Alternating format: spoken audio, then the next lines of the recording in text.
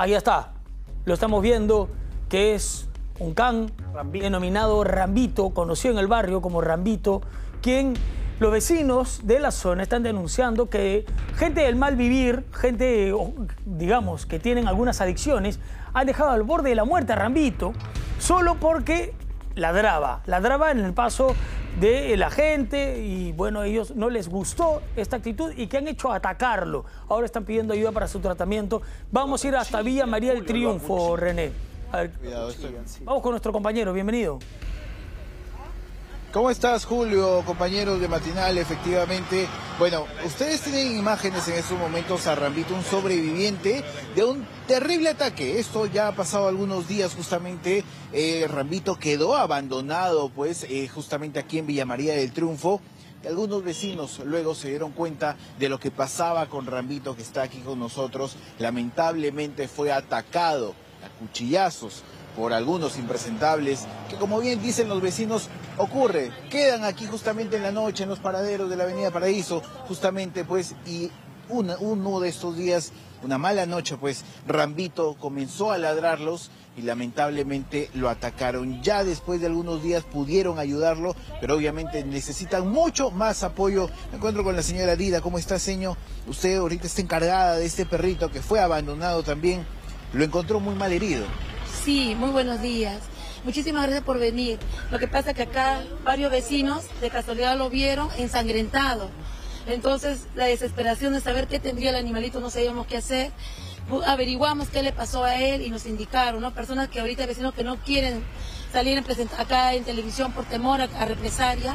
Estaba con el lomo bien hinchado, agusanado. Incluso yo mandé una publicación que estaba pudriéndose la herida, llena de gusanos, y lo que hicimos una colecta con varios vecinos, como mi vecina presente, mi otra vecina, es de eh, humildemente juntar un poquito de dinero y llevarla a la veterinaria.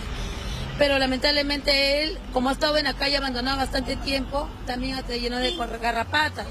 Entonces también nos han mandado sacar hemograma, análisis, todo para ver si tiene reliquia porque si no, no va a poder saturar esa herida. Señor, ¿y se sabe quién pudo haber sido, qué, qué persona lamentablemente le ha hecho esto a Rambito? Sí, lo que pasa, a mí me comentó el vecino anónimo, que no quiere dar la cara, que dice que una noche acá, cerca del paradero, habían estado un grupo de personas tomando, muchachos fumándose, entonces dice que el perrito, estaban comiendo un poco de pollo, creo, y el perrito quiso este, acercarse para que le inviten, y uno de ellos dice que lo pateó, y al patearlo el perrito lógicamente ladró y el otro hombre de la nada vino y le comenzó a, cuchillar y se mataban de risa y se fueron corriendo, se fueron en sus motos.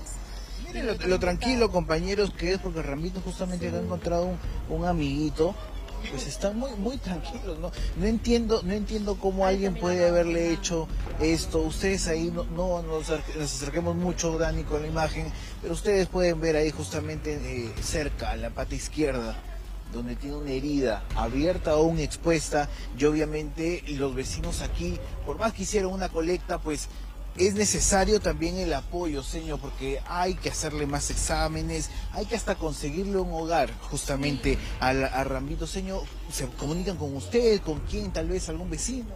Sí, yo acá les dejo mi número de WhatsApp para mayor información, que es el 926 447 962.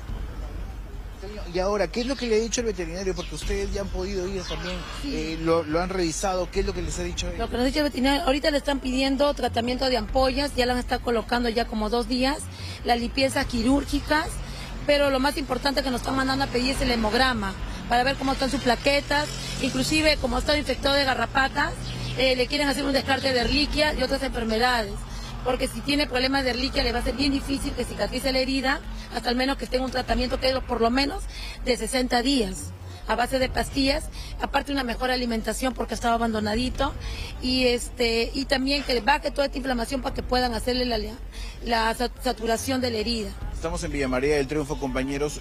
Señáleme desde aquí dónde fue el ataque supuestamente que le hicieron aquí a ¿Dónde está este paradero? ¿Dónde están esos sillones? Para el frente para el frente hay un paradero de este, de este lado, sí. Como es una parte media desolada y el vecino a veces sale de madrugada a botar su basura y él vio, sino que como tiene miedo no quiso salir en televisión. ¿No hay alguien que reconozca a Rambito, tal vez escapado de casa, porque, bueno, quedó abandonado por lo que dice, pero posiblemente también se haya escapado. No hay vecinos cerca que lo reconozca, que haya estado pidiendo un, un perrito por ahí que se ha escapado. No, hemos estado publicando y nadie, lamentablemente, nadie se ha manifestado con el caso de Rambito. Entonces, por eso que nosotros, con mi vecina acá al costado, que, y mi otra vecina amablemente también le están dando ahorita un, pedacito de espacio en su casita para que él pueda estar en tratamiento, porque no puede estar en la calle. Porque si hacemos el tratamiento y está en la calle, incluso se quedó en la calle un día, ha estado en la calle, después que le llevamos a la veterinaria le colocaron un antiparasitario interno externo que es este la trevia, se quedó un día en la calle y lamentablemente hay otros perros que le comenzaron a atacar y él es un carácter muy dócil, usted comprenderá. Entonces nos damos cuenta que no es un perrito. Y lo vemos, Julio, porque es muy, muy tranquilo. Julio, te escucho. No, que, indignado, Henry, con lo que estás contando, lamentablemente está el perrito. Este perrito tranquilo, incluso nuestro reportero también lo acaricia, está asustado, evidentemente recibió una golpiza el perro.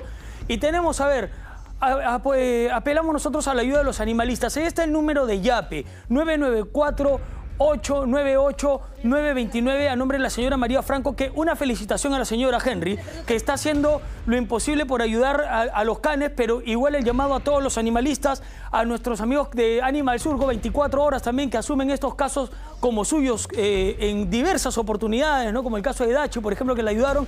Yo espero y creo que pueden ayudar también a Rambito, porque la historia de Rambito es tremenda, es un perro que incluso los vecinos del barrio dicen cuidaba el barrio y lo han terminado tratando mal, eh, prácticamente no acuchillando, pero batiéndolo a golpes, no dándole una paliza al perro, gente del mal vivir precisamente, y ahora nadie se hace responsable. Y es por eso que necesitamos toda la ayuda posible. Los chicos de, Animal Surco que siempre sintonizan el noticiero también sería lindo que puedan acudir a ayudar este caso o invitar a la señora también para que se le dé el apoyo necesario. Es ella solita y de repente las almas de buen corazón que puedan ayudarla también. Así que necesitamos unir fuerzas para que este perrito salga del trauma tremendo que ha vivido y pueda recuperarse. Henry, permanece en la zona, por favor. Esperamos tener buenas noticias en breve. Así que vamos a ir con esta noticia que está en desarrollo. Rambito atacado, pero nosotros vamos a velar por él y ubicar a quienes puedan ayudar, como nuestros amigos de Enemy al Surco, que seguramente se van a poner en contacto.